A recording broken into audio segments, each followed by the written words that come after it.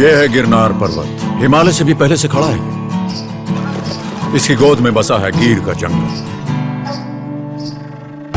भारत का एकमात्र जंगल, जहाँ राज करते हैं 400 से भी ज़्यादा एशियाटिक लायंस यानी बबर शेर।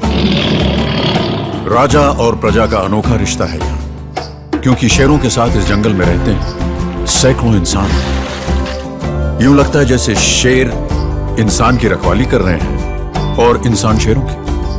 तभी तो गिर में शेरों की आबादी बढ़ रही। है सदियों से भारत के स्वाभिमान का प्रतीक है ये शेर। और इनका घर है गिर। यहाँ खुशबू है मेल मिलाप की, पत्ते पेड़ों की, शेरों की। यहाँ खुशबू है गुजरात की। अगर आप शेर दिल हैं तो रहिए शेरों के साथ में।